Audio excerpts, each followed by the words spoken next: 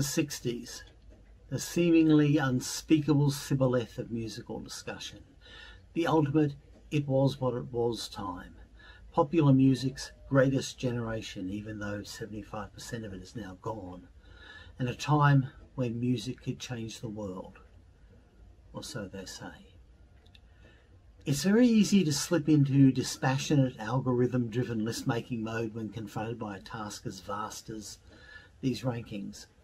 But by the late 60s, we arrive at the music which is for most of us the first music we've ever actively consumed and participated in rather than looking backwards on. And that buys us a stake in music, compromising forever objectivity. Why is Crazy Elephant on this list and not Emerson, Lake and Palmer? Because I was slapping my feet on the cool linoleum at the kitchen in Mount Gravatt to Crazy Elephant and probably would have run outside to play Batman or some such had I heard ELP come on the radio. Life was too short back then for dull music. It still is, but I still dance to Crazy Elephant. So that colours the rankings and determines to an extent who dropped out of the shortlist and who made it. So, without further ado, let us sally forth, or Beethoven's Fifth. Off with 510 Man by the Masters Apprentices. By 1969, the Easybeats were no more, and a fresh, more ambitious rock group had claimed the mantle in Australia. Meet, for the first time, the Masters Apprentices. It shan't be the last. Next up, it's the Harlem Shuffle by Bob and Earl. Greasy and slick, it took a Rolling Stones cover for me to go back and find this. A masterpiece born of labour in obscurity. 248, the Tra La La song by the Banana Splits.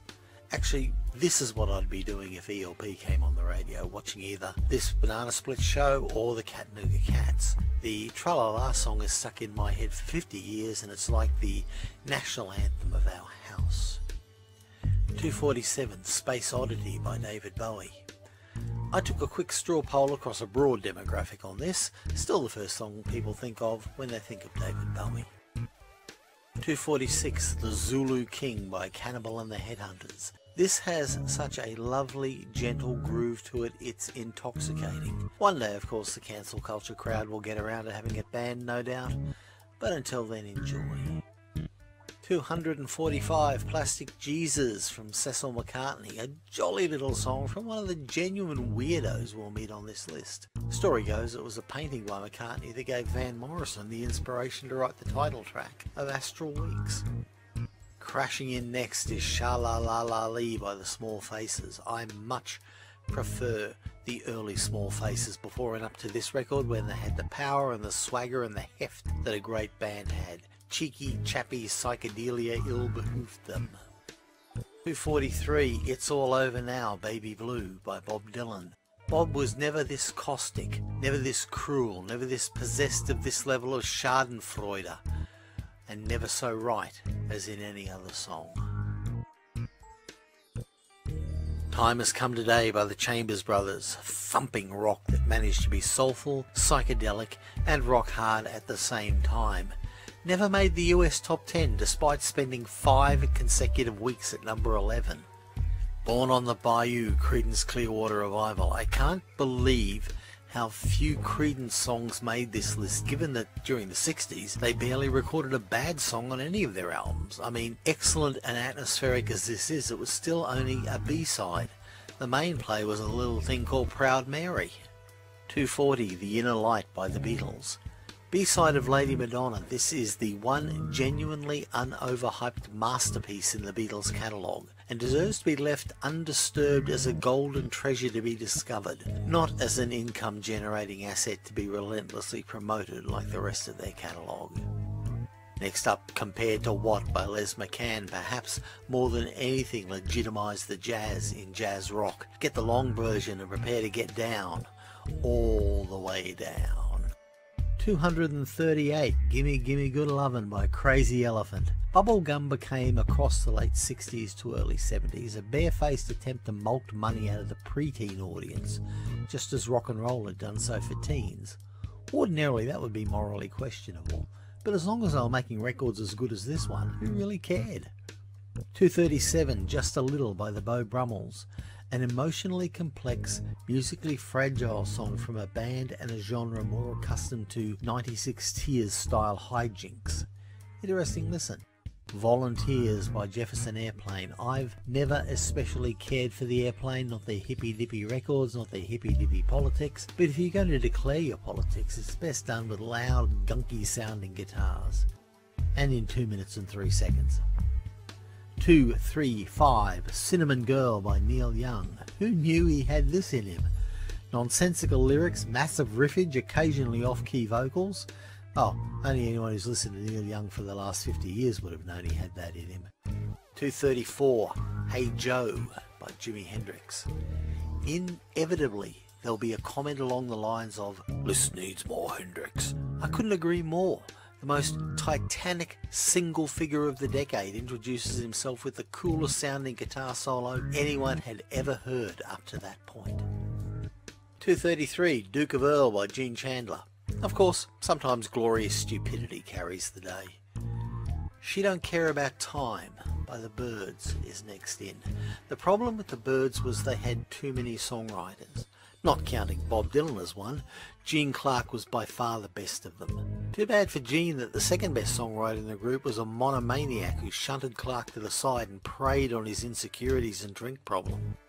Clark died from the effects of his alcoholism in May 1991. He was only 46 years old.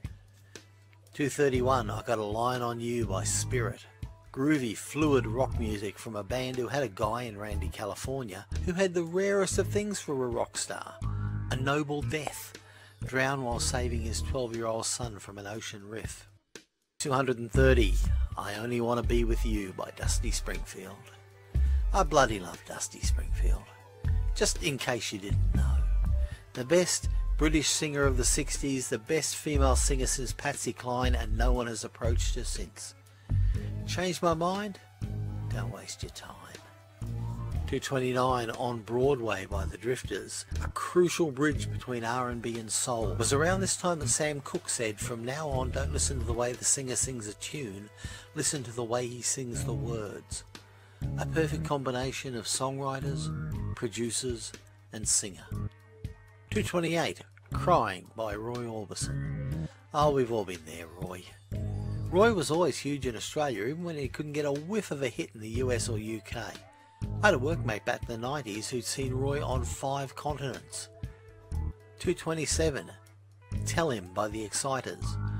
The record legend has it that upon hearing it in Nashville, Dusty Springfield was convinced to quit the Springfields and go solo and be a soul singer.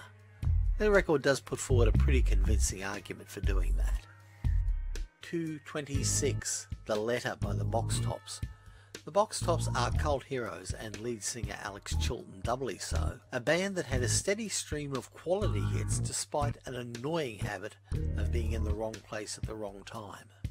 225 Oh Well by Fleetwood Mac. Peter Green was a darkly troubled fellow and it showed through on this dark troubled record, which was captured diegetically as part of the background of the classic Doctor Who story Spearhead from Space. 224 I Dreamed I Saw St Augustine by Bob Dylan. One of the many mysteries on the John Wesley Harding album, it is inarguably, I think, one of Dylan's finest vocals. 223 Crawl Out Through the Fallout by Sheldon Allman. Good heavens, American satire which isn't over precious and incapable of appreciating irony.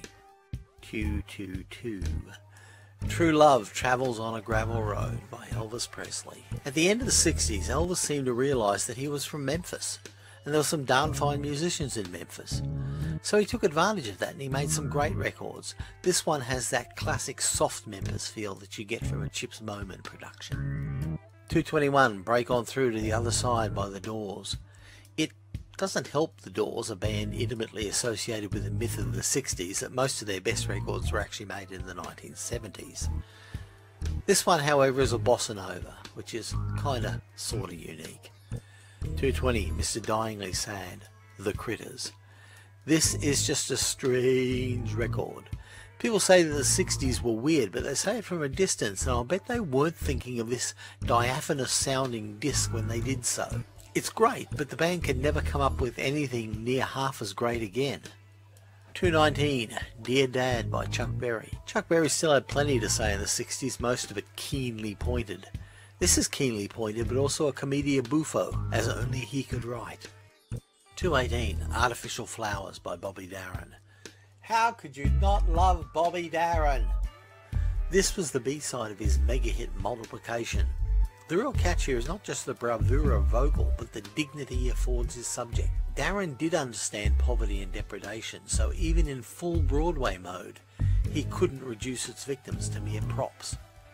217, I'm Not Like Everybody Else, The Kinks. There was no keener eye on the UK scene for the UK scene than Ray Davies. This song, the B-side of Sunny Afternoon, was written for the Animals, but they turned it down, so the Kinks cut it with Dave Davies on vocals. It's an anthem for the dedicated followers of what's not in fashion. 216. Walk a Mile in My Shoes, Joe South. Joe South is a classic example of what I call the Carole King syndrome. Great songwriter, good singer, but not the best singer for their material. With Carole, it was always Dusty Springfield. With Joe South, it was Elvis Presley. But it never happened between the useless Felton Jarvis as Elvis's producer or the Colonel's controlling of Elvis's publishing. Damn shame.